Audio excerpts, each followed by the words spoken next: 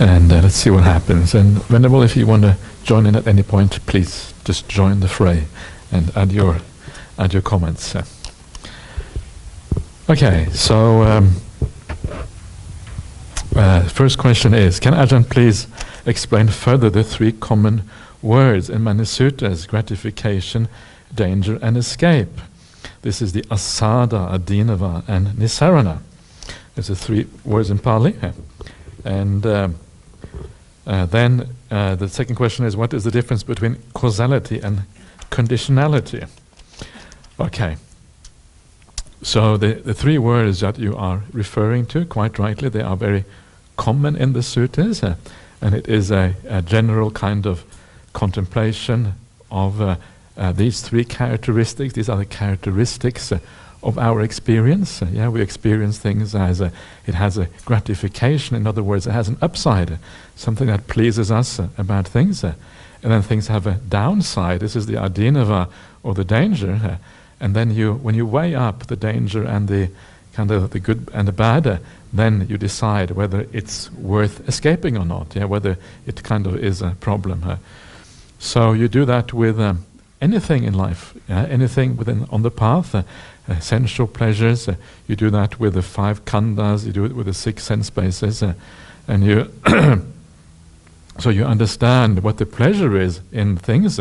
So, for example, with uh, uh, the sense pleasures, yeah, you understand the kind of the happiness that comes from that, having a nice car, a nice house. All of these things, sense pleasures, always bring a degree of uh, uh, enjoyment. Yeah, this is kind of why we are, why we like them. Otherwise, we wouldn't like them if they didn't bring any kind of happiness at all.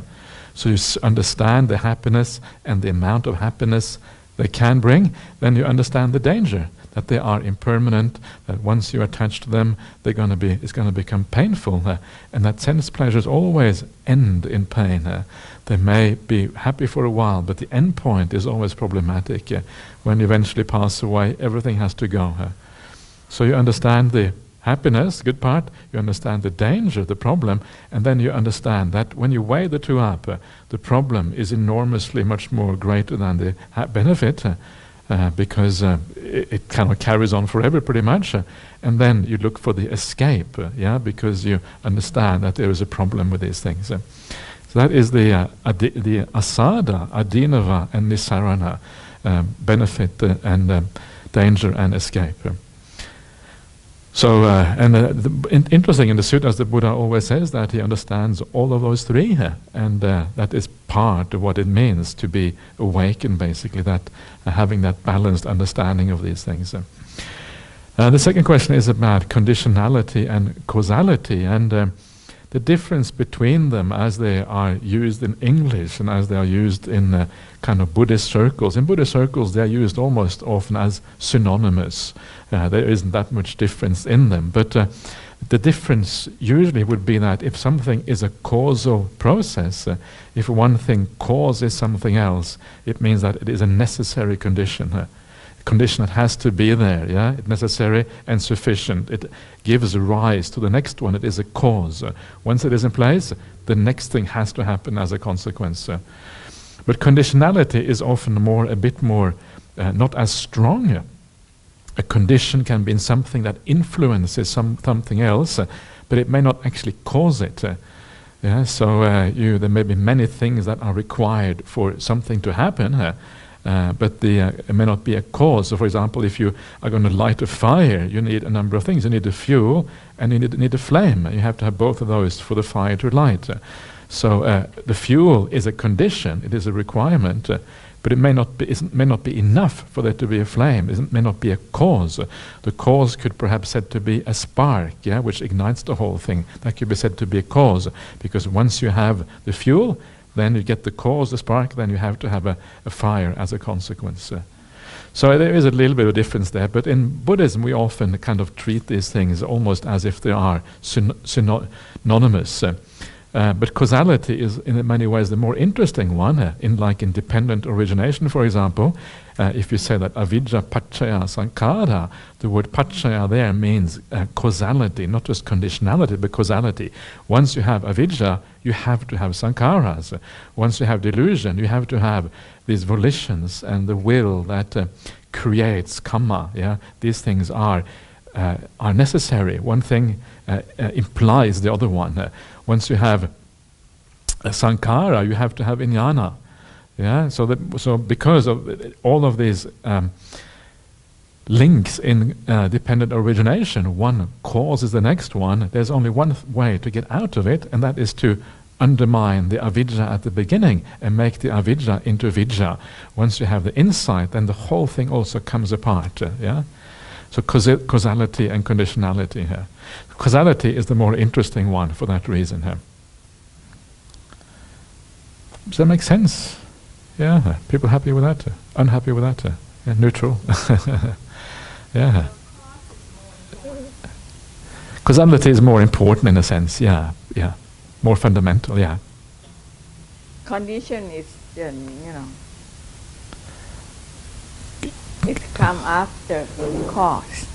Comes after cause. It comes. Uh, condition is um, a thing which influences something else. Yeah. So condition is something that um, may have an influence, but may not may not have a very um, may not actually have a, be a causal factor. But maybe, a, for example, it may be.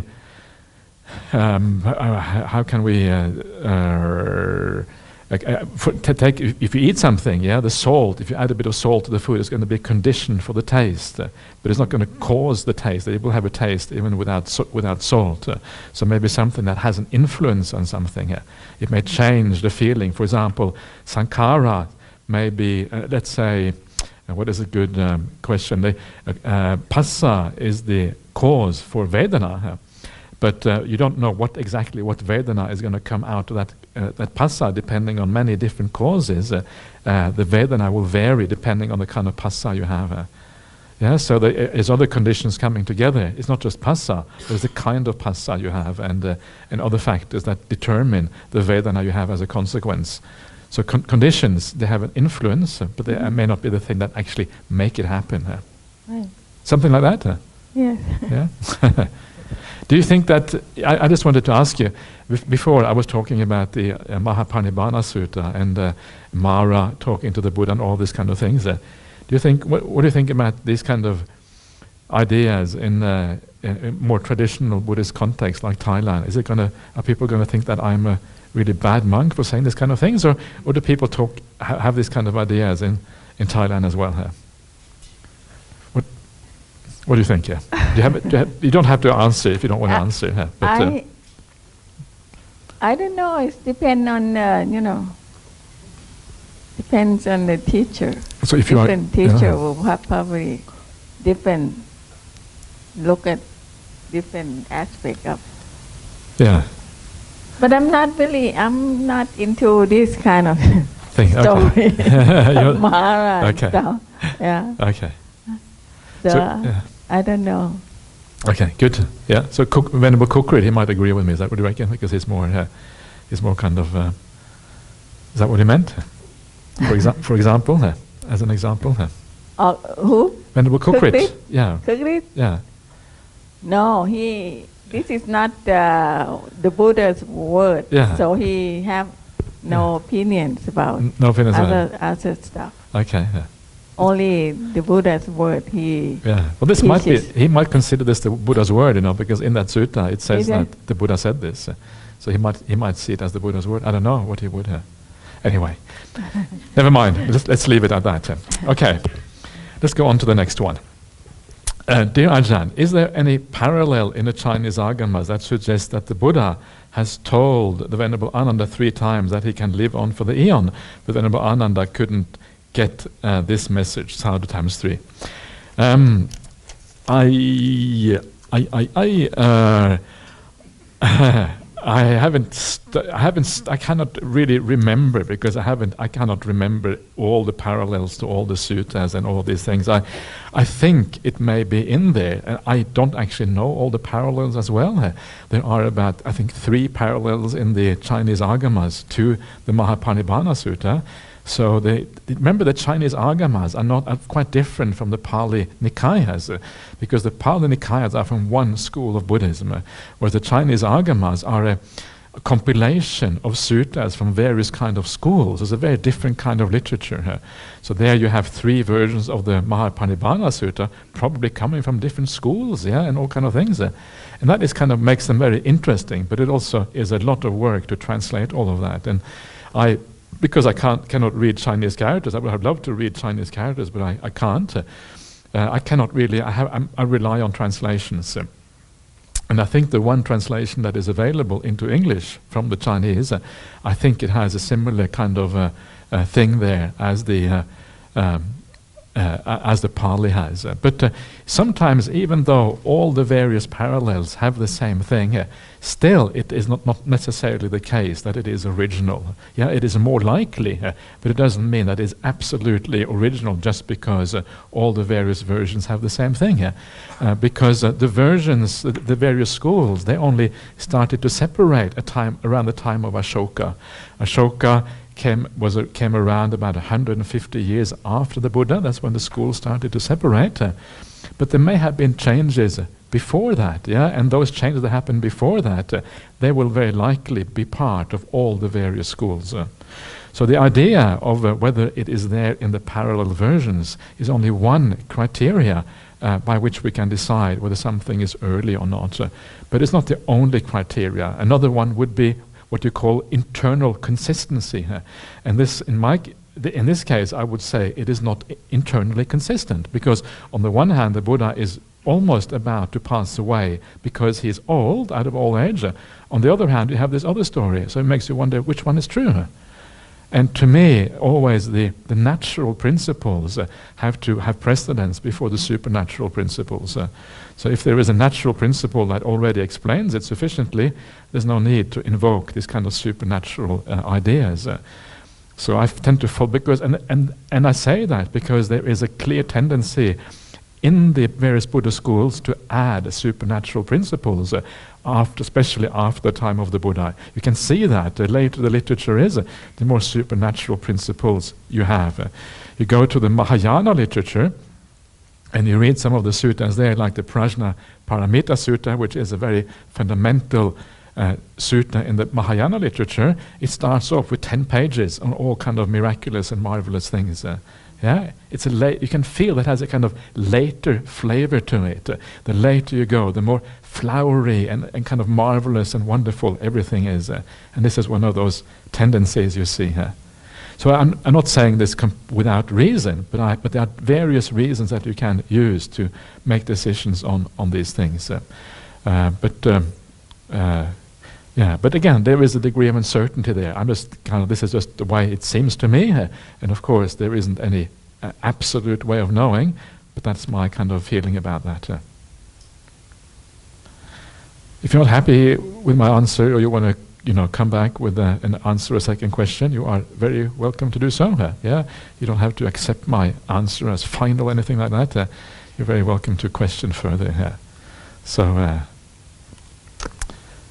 okay, if, if, I'm wrong, it's really good because if I'm wrong, then I have learned something. Yeah. If I'm if I sit here, nobody challenges me. I I feel like I'm always right. Uh, after a while, I might get conceited. I'm always right. So, so, so please challenge me if you want to. Okay. Next one. Oh, this is a two-page two-page question. Okay.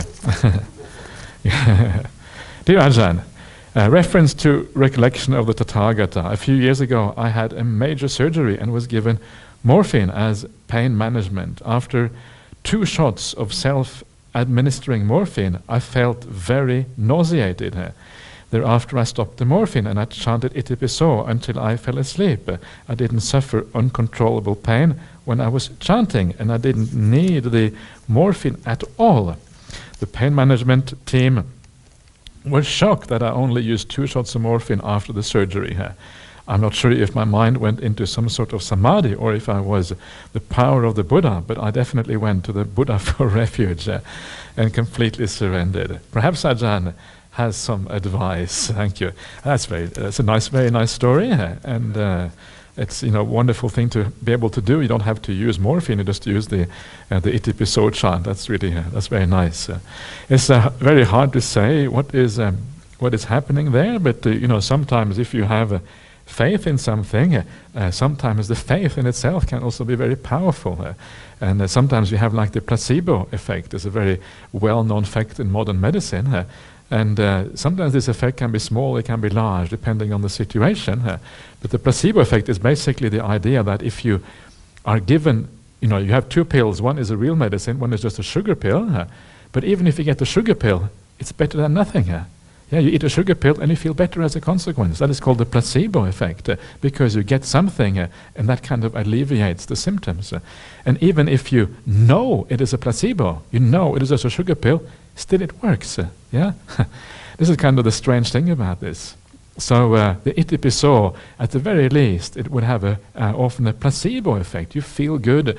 You know this is the teaching of the Buddha. You feel kind of, you know, you're getting some kind of a uh, support simply by having that refuge, simply by knowing that there is something in your life that supports you, is often enough to give you a mental boost. Uh, so this is kind of accepted by modern medicine. There's no need to kind of ask for supernatural powers. Uh, on top of that, it may be that uh, at this time you kind of you knew that you needed some support, so maybe you focused particularly strongly on this, uh, and you, as you say, you used it as a refuge. Uh, so maybe you were able to focus so much that actually the pain kind of disappeared. Uh, I don't really know. I mean, it's hard for me to say based on the information you give, but something like that may very well have happened.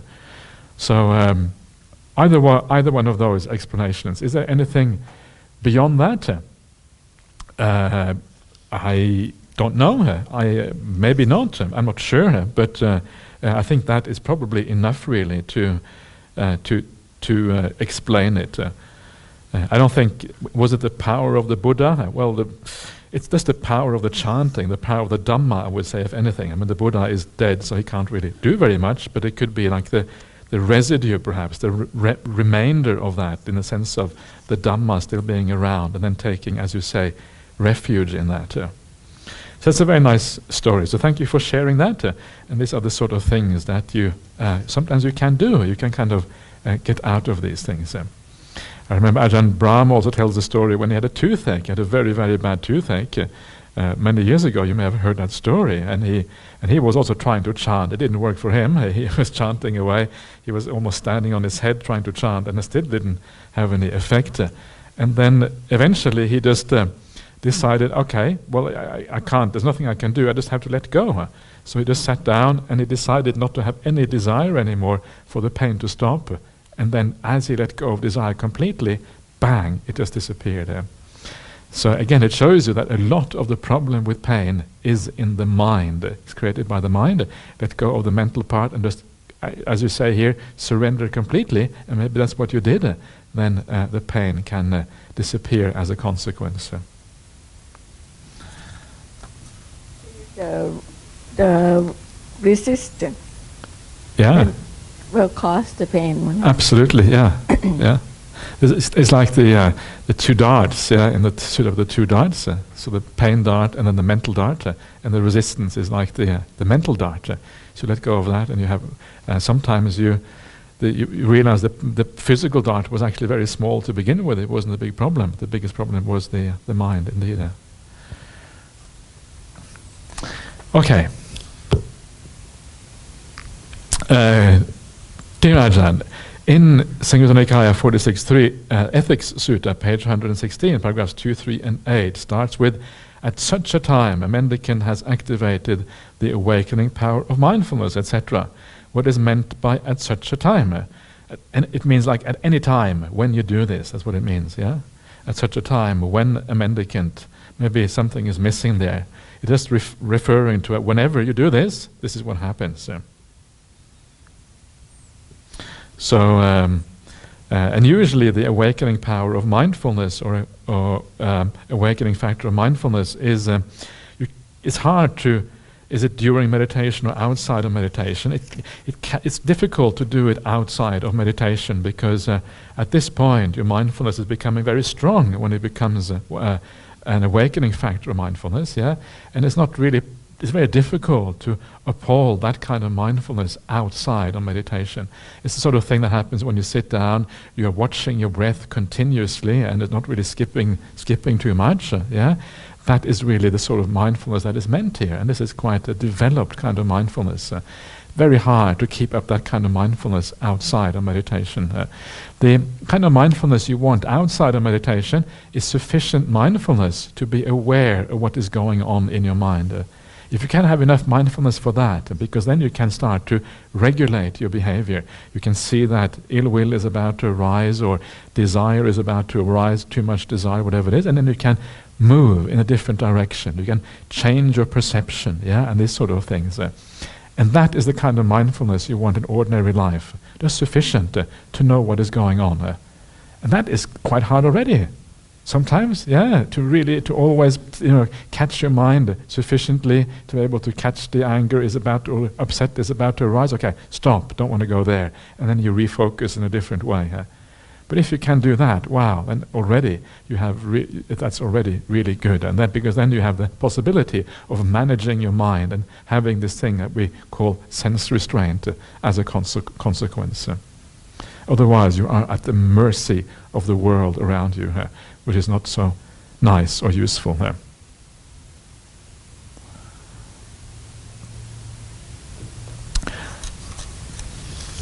Okay. Dear Ajahn, in what way is the sense restraint mentioned in the Kundaliya Sutta different from the Bahiya's teaching? In the seen, there is only the seen, etc. Um, the uh, Bahiya's teaching is much more profound. The Bahiya's teaching is the idea that when you uh, see something, there is no uh, self reference, there is no identity, there is nothing, you don't make anything out of it. Uh, you don't have any papancha. Yeah, this is what is meant here. Papancha is the idea when you uh, pro- proliferate. And uh, so, and this kind of proliferation uh, can often be very, very subtle. Uh, that you refer to it somehow, uh, refer to it to you. Yeah, this is my vision, or you perceive it as being yours, or something like that. Uh, it can be very, very subtle. It can have to do with views. It can have to do with uh, the conceit I am, or whatever. so it's more, it's more primary. The, the, the defilement that we're talking about here in the um, Kundaliya Sutta is more developed. Yeah, first of all, you think that you might get hold of this; it might be yours. You relate to it somehow, and then the desire becomes quite strong. Yeah? So one is a much more subtle thing than the other one. Yeah? And the one in the Bahiya Sutta is really a sort of thing that comes from very profound insight into seeing non-self of things. Uh, whereas the other one is a much more preliminary practice of calming down the defilements to a certain extent, uh, and then from that, then you can have the kind of insight uh, that they talk about in the Bahiya Sutta. Uh. One is more preliminary, one is more profound. Uh, one has to do with the very idea I am, the conceit I am. Uh, the other one has more to do with managing your emotions in daily life. Uh. But you're right, they are related to each other, especially because when you uh, deal, take away the whole conceit I am, of course, you're also dealing with uh, the sense, the senses as well. Huh? I was under impression that Bahiya's teaching is not something easily doable. A- exactly, that's exactly right. Uh, not at all. According to an article from Ajahn Brahm, one must have access to jhana to practice Bahiya's teachings. Absolutely, because uh, it is about seeing non-self and all of that. Uh, so you really need to have the, the jhanas to do that. Uh. So I think that is uh, exactly right what you're saying there. And so these things are not, not the same. And um, there is some uncertainty anyway. The Bahiya's teaching is found in the Udana.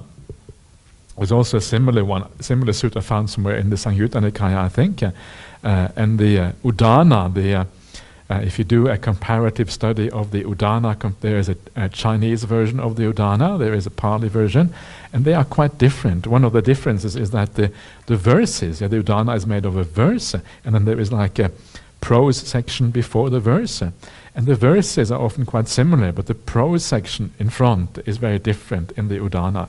So the verse section seems to be more original, uh, whereas the prose may, in many cases, be stories that have been added later. Uh which is a bit of a shame because those stories are really nice. Uh, yeah, some of the stories are really kind of uh, uh, interesting so- stories. Uh, sometimes the best things are not not original. Uh, yeah, many people want to read all the stories in the Jatakas and the uh, and, and, the Dhammapada Attaka. Some of the stories are really nice, and then someone tells you it didn't come from the Buddha, and then you feel really let down afterwards.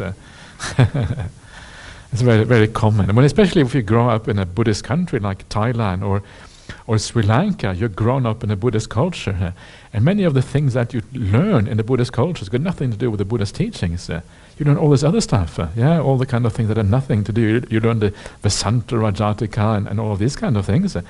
Very nice stories, but got nothing to do with Buddhism, more to do with Brahmanism and, and, and, that sort of thing that has to do with Buddhism. And then they come like, oh, but the Buddha said, no, actually, he didn't say that at all. This is just, a, oh, I was taught this because I grew up in a Buddhist country. Well, you don't really learn Dhamma very often when you grow up in a Buddhist country. What you learn is, you it's strange, isn't it? What you learn is what the Buddhist culture has kind of brought to the front over many, many uh, centuries and millennia, and these have become kind of what Buddhism has become.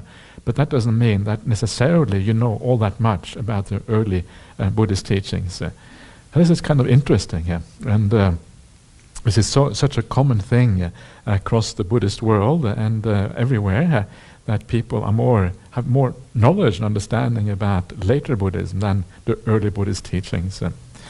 and yeah, anyway. So um, let's go on to the next one.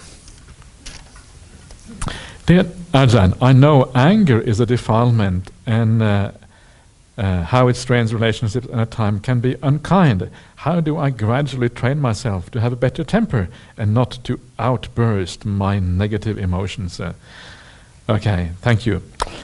So this is what we talked about during the uh, uh, retreat time. I was talking about that sutta. It's actually in the book. So if you have the book, look at the sutta that is called the uh, uh, removing of resentment or something like that. Uh, yeah, sutta. And uh, uh, and that is a very nice sutta that tells shows you a lot about how to avoid anger. And I will give you a couple of quick uh, ideas which are straight from that sutta to maybe to help you understand the sutta a little bit better.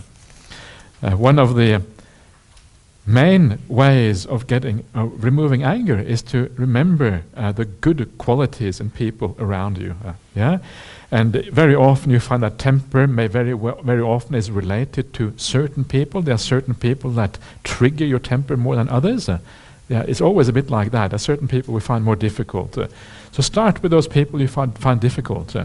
And then, uh, especially if they are part of the BGF uh, or they are a good Buddhist or whatever, it's quite easy to see the good qualities in, in those people. Yeah, they come here, they want to be kind, they want to do the right thing. Yeah? And straight away, if somebody wants to do the right thing already, they are worthy of a lot of praise. Uh, what a wonderful thing that is. Uh, so you build that up in your mind, you remind yourself of that. Uh, and the more you build that up, uh, the next time they do something which, is, which irritates you, you remember that actually they have so many good qualities, and then your temper dies down, bang, very fast again. Uh, the quicker you remember that, uh, the quicker your temper dies down as a consequence. Uh. This is one way, yeah, remembering the good qualities in people around you, building that up. And the other one, if there is someone who cannot see many good qualities in, then you have to have compassion instead. Uh. So you remember that someone who has all bad qualities, uh, you remember that they are their own worst enemy. Uh, yeah, if you have really lots of bad qualities, you are you, you are a terrible enemy to yourself because you're creating so much bad karma, because you're creating so much disharmony in your life, so many problems in your life. And then instead of getting upset with them, you can have compassion with them because they are the ones who suffer much more than you do because of their own stupidity. Yeah, they are blind, they are deluded, they don't, don't know what they are doing. so when you look at them, you don't think about your pain or your problem anymore with them. You look at them and you, you start to feel a bit sorry for them. Gee, you don't know what you're doing. Yeah, you're blind. You have all this, all this, you know, doing all these crazy things, and it's you are going to hurt the most. And then you have a sense of compassion instead. So those two together covers all people. Either the person has some good qualities and you can look at those and neutralize the anger through that. If they haven't got any good qualities, then you look at the uh, side of compassion. So have a look at that sutta. That sutta has some beautiful similes to help that uh, idea kind of strengthen that idea. And uh, uh, then you have a very good foundation for overcoming ill will and anger. Uh, it's not that hard to overcome ill will, at least to some extent.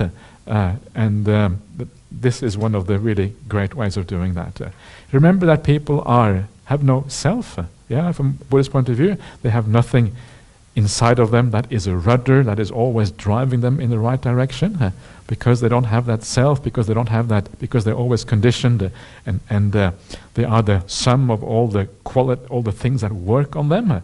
Uh, because of that, uh, you cannot really blame people for doing stupid things. Uh, people do something stupid. what do you expect? They're conditioned to do that. They can't do anything different. and there's something beautiful about that because it means that you know that everyone is the victim of that conditioning that they have, and they can't really be any, any different. Uh, compassion comes in very quickly here. Okay. So we have a few more questions. Uh, dear Ajahn, for a one returner or seven returner, where there that's the stream entry, where the rebirth takes place, must it be in the human realm? Uh, what about non-returner and uh, where the perfection, the, where does the perfection to arahant take place? When or where? Where, where the perfection to arahant? Okay, so let's start with uh, this. So the the once returner, they say that uh, it says that they re- obviously they return once, and the question is where is it that they return once? And according to the standard explanation, they return once to the sensual realm. And the sensual realm is very vast. Uh, it can be any kind of heavenly realm within the sensual realm. Uh, that is where they come back. Yeah. Uh, so that is the once returner. Yeah, the uh, stream entry, uh, which you call here the seven times returner, because that's the maximum number of uh, returns you can have as a stream entry. It can take place in many any kind of anywhere, also within the se- within the se- sensual realm. Uh, you don't know. There is some one of the stream entries called the Eka Biji. Uh, Biji is um, like a seed, the one seeder, the one that comes back once, and they are said to come back once to the human realm. Uh. So you come back once to the human realm, then you make uh, an end of suffering from there. the seven times returner, there isn't it, ha- it isn't clearly defined exactly where you get reborn, uh, but presumably it is uh, within the sensual realm seven times at the most. Uh, because once you go to the Brahma realm, uh, then you can never come back again if you are a stream enter.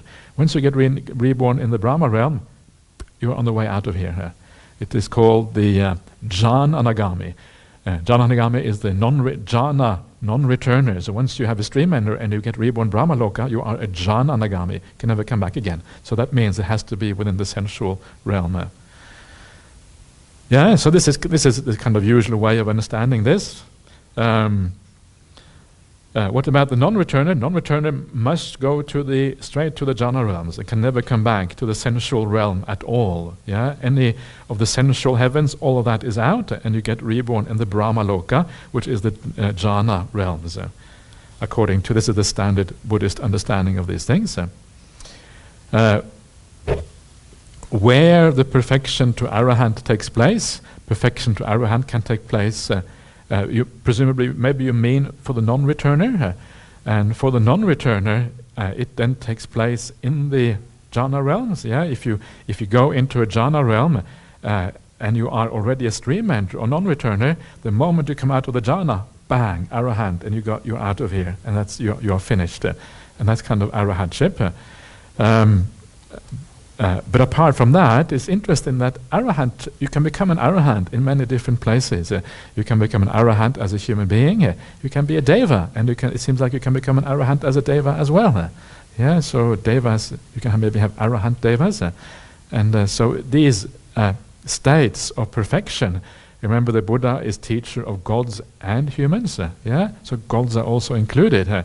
so you can kind of you know, hang out in the uh, Devaloka and uh, the Buddha comes and gives you a nice teaching. Yeah? One of the nice things about the Devaloka, which people often miss or underestimate rather, is that um, in the Devaloka there probably are a lot of Aryas up there. Because where do the Aryas get reborn? Well, pure people get reborn in the Devaloka. Huh? So Aryas, yeah, there's going to be a lot of Aryas. Yeah, a lot of noble people up there. Huh? That's kind of nice, isn't it? Go up and kind of hang out with all the noble ones, the stream enterers and all these kind of things. Uh, much more likely to be there than in the human realm. Uh, human realms, we are, we are a bunch of scallywags compared to the devas. Uh. it's more unlikely to find any, any kind of really special people here. Uh. Turn left. no, that's the wrong. That's the wrong way. Eightfold path. Eightfold path. okay, that's good. Sometimes eightfold path is left. That's true. So yeah. okay, so I hope you are happy with that. Uh, and um, next one, next two.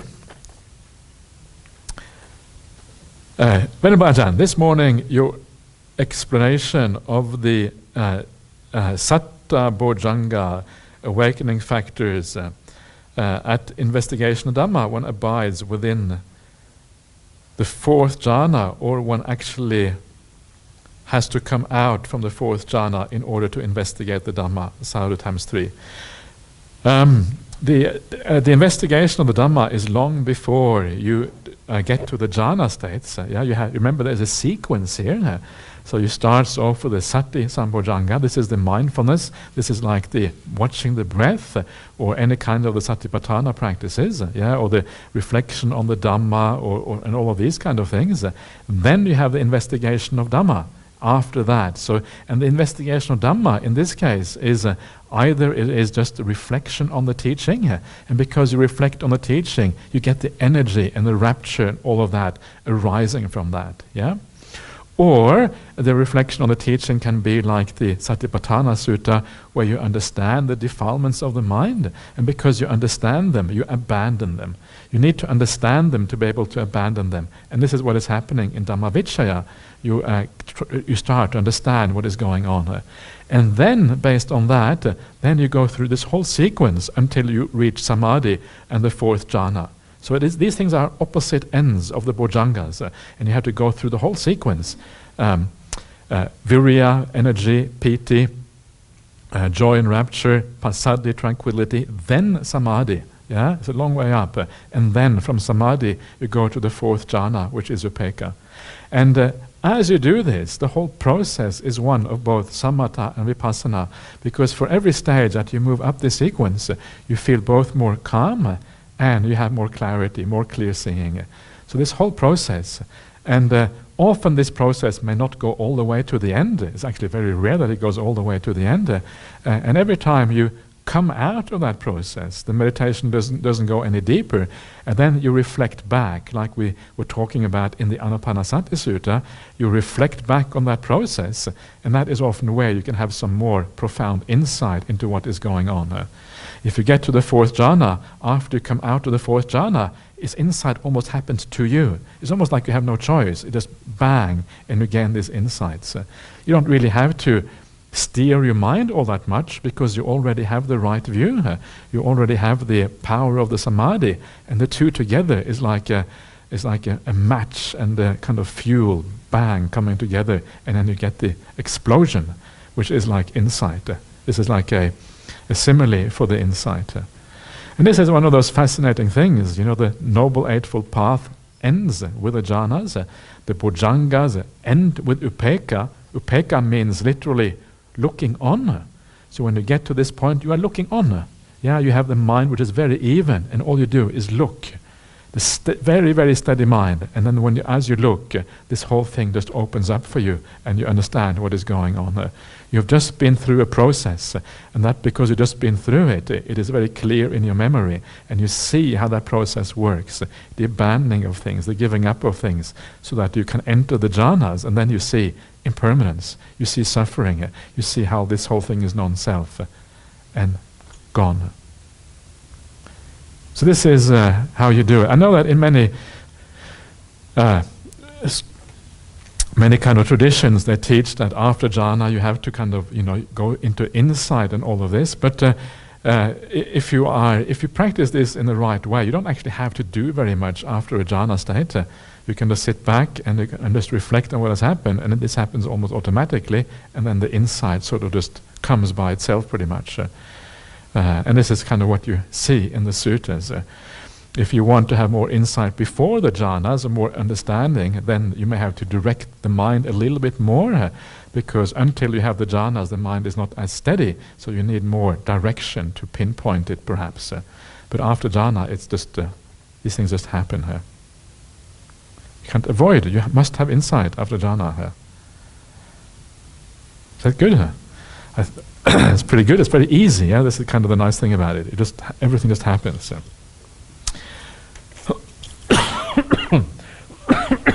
Excuse me. Okay. Next one. Venerable Ajahn, can you please explain the difference between Ceto Vimutti and Panya Vimutti? Uh, is there a difference in the practice that leads to different types of liberation?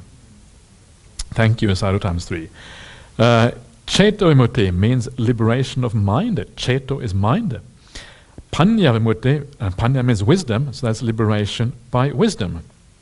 And uh, the difference is that uh, chet, it depends on the context in which they are used, uh, but Ceto Vimutti can, for example, be a state of samadhi. If you come out of a jhana state or you come out of a Brahma Vihara, Brahma Viharas are called Ceto Vimuttis. Uh, and they are Ceto Vimuttis because the mind is liberated from the hindrances, uh, liberated from those negative states. Uh, that's why you are liberated. But it is a temporary liberation, right? Because uh, samadhi is temporary; it's not a final liberation. So that is the one of the one of the meanings of Ceto Vimutti. Panya Vimutti means liberation through wisdom, and this means when the um, uh, you have seen uh, reality fully, and of course, then there is no return back again. Uh, it is a final liberation. But sometimes, very often, Panya Vimutti and Ceto Vimutti are used together. they are used kind of as a pair. So when you become an arahant, it is often said you have both Ceto Vimutti and Panya Vimutti when you become an arahant. and that is because both of these liberations come together. Uh, you are both liberated uh, from the, uh, fr- from the um, defilements, uh, just in the same way as you are liberated through a jhana state, uh, but you also uh, liberated through the insight or understanding so that those defilements can never come back again. Uh, it is both a liberation of mind in the sense that the mind feels free, but it's so you you know you feel the freedom that comes from that liberation, but it's also an insight at the same time, so that there is no returning back. Yeah? If you see what I mean, and then th- those two things coming together, that means that you you know uh, you both feel good and there's no turning back at the same time. Uh, there is something also called the uh, uba, uh, Ubhatobhagavimutti as well.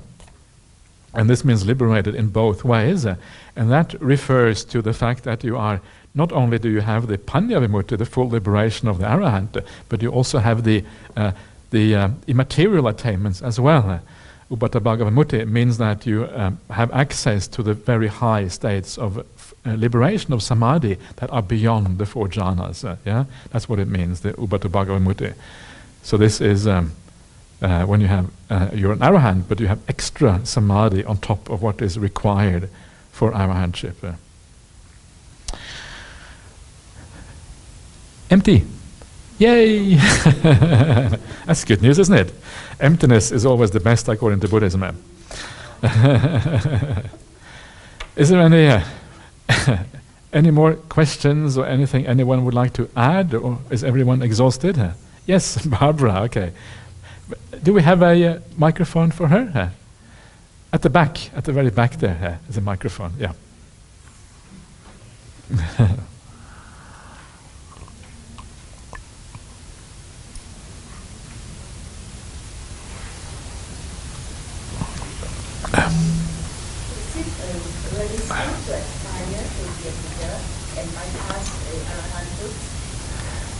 To aspire to be a Buddha,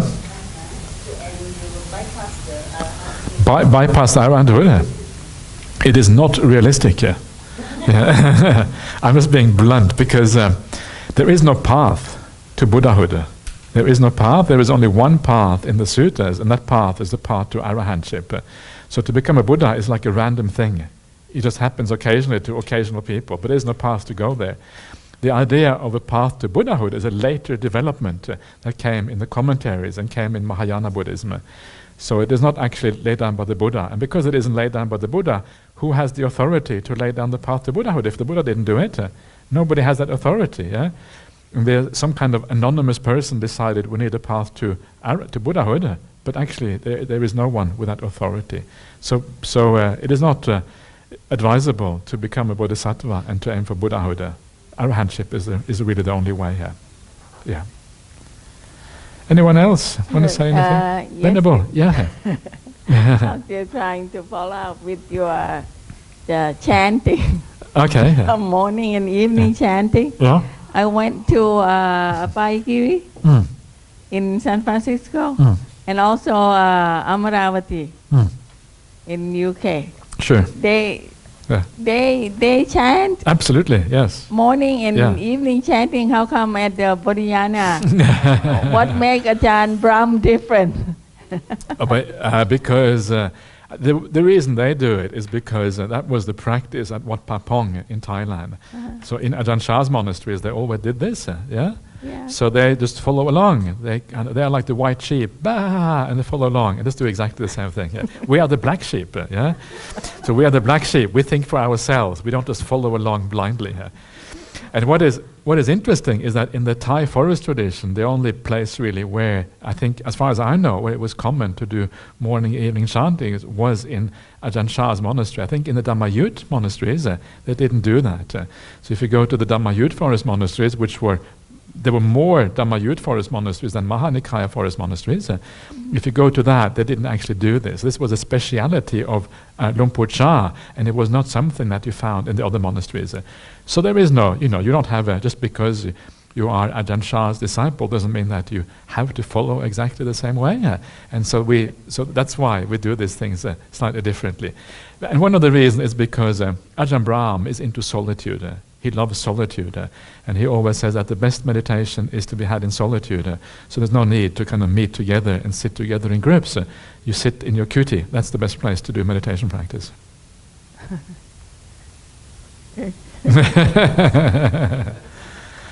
okay. Any more questions? Yes, please. Uh, is there a microphone for him? Okay, from Venerable over here.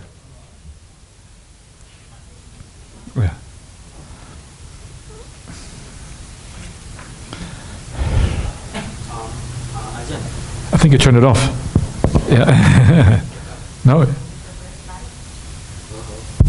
Oh, yeah. Uh, Ajahn, Okay, uh, uh, um, if one has jhana, uh, does it guarantee that af- uh, after they are passing away, does that mean they are going to Brahmaloka or they can come back to Kamaloka if they have experience of jhana? Uh, it's not enough to have experience of jhana. You have to have a steady uh, experience. Yeah, so you have to have a regular experience where you have access to the jhana. So even if you have attained it once or twice or ten times, it's not enough. You have to have that habit, ability to re-enter it at will, pretty much. So it says that's what it says in the sutta. So once you are really experienced with the jhanas, that means that when you die, you can enter the jhana easily and you get reborn in those realms.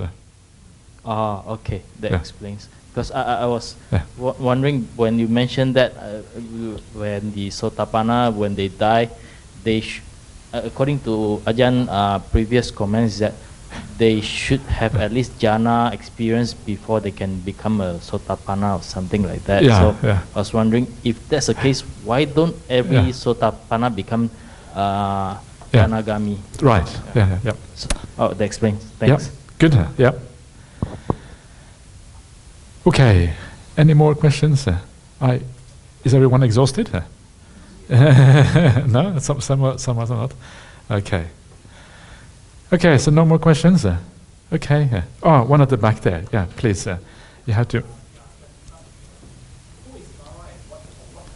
Who is Mara or what is Mara? I, it's like, okay, I will, rep- I will repeat it for the recordings. That's okay. Who is Mara or what is Mara? Uh, it's a very good question uh, uh, because uh, it is far from obvious from the suttas uh, what the answer to that is. But generally speaking, the most common way that Mara is used in the suttas is used as a psychological principle. So Mara is whatever kind of scares you or makes it difficult, or it is a defilement that arises in the mind. This is called Mara.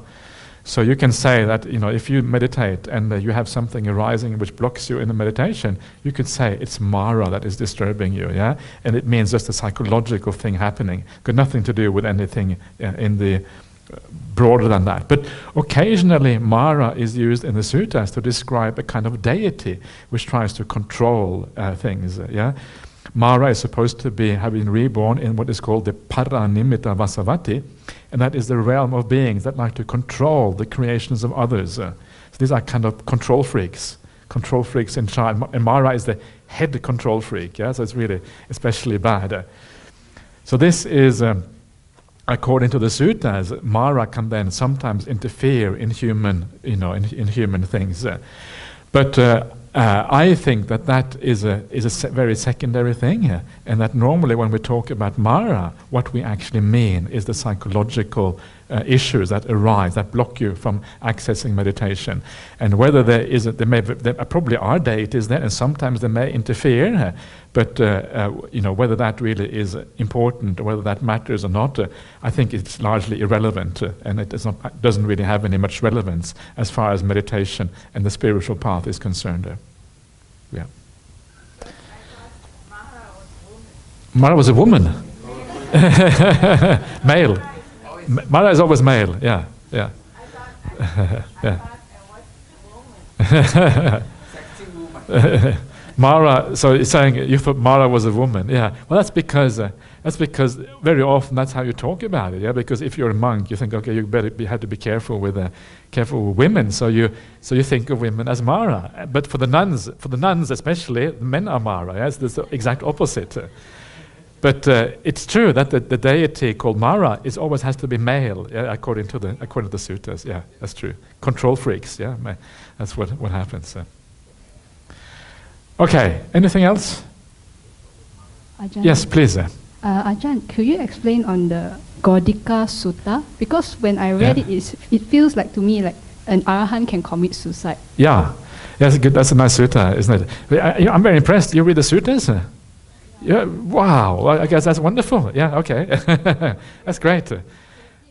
Oh, I heard, I, I heard yeah. a, a, talk from another venerable. So he told me that Arahant can commit suicide. Yeah. So I searched and then I saw there is a sutta yeah. of this. Ah, okay, that's yeah. how you found, found it. Okay, yes. yeah. There is a few suttas like that. There's a, a Vakkali Sutta, Godhika Sutta, and uh, one more, three places at least, where it looks like an arahant may have committed suicide. And I think that uh, Bhikkhu Bodhi, who is one of the main translators into English, he agrees with that reading that it actually looks like an arahant committed suicide. So it seems like it, it could happen. Uh, and uh, the Buddha, in one place, he says that, well, if you do commit suicide as an arahant, uh, basically, you, you know, it's okay because you finished your job anyway. There's nothing more to do.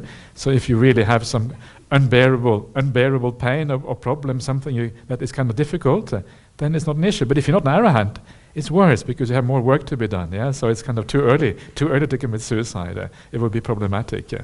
So it looks like it may be, may be possible, and it's quite, and that is very interesting because when you talk about ethics and what is, uh, you know, what, is, what the five precepts are, for example, sometimes the question is, well, is suicide covered by the five precepts or not? Now, the arahant is supposed to be perfect as far as the precepts is concerned. So, if they can commit suicide, then maybe suicide is not covered by the five precepts. That's interesting. And uh, it may very well be the case because when, you, when we talk about killing, what we are do, what we mean by any kind of the any of the precepts is that we are depriving someone else of something they want. If you steal from somebody, well, they, they presumably they want to have what you're stealing, eh, yeah. So you're taking from them something they want to have. Eh? If you kill someone, eh, it's only if they want to live that you're actually taking something away from them that they they don't want. So if you want to die and you have a good reason for it and you want to commit suicide, is it bad? It depends on what your motivation is, whether it's bad or not. Uh, yeah. So from a Buddhist point of view, these things are actually quite deep and quite complicated. It's not obvious that suicide is always wrong. If in certain conditions it is wrong, in other conditions it may not be wrong. Okay. Anything else? But, you know, Please.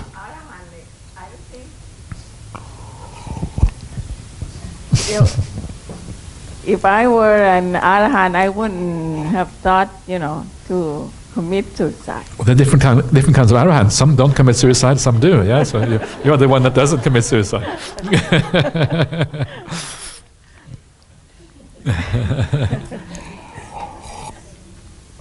So there you are. It's interesting because this, that's what the sutta seems to be saying. Yeah, this is actually in there, and that's, that, that is fairly, that seems to be the message.